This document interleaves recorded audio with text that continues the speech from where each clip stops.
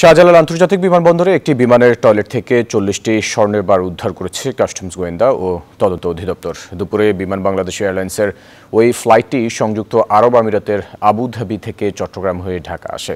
উদ্ধার স্বর্ণের বারের আনুমানিক দাম তিন কোটি চব্বিশ লাখ আশি হাজার টাকা। ওজন চার কেজি, ছয়শো চল্লিশ গ্রাম।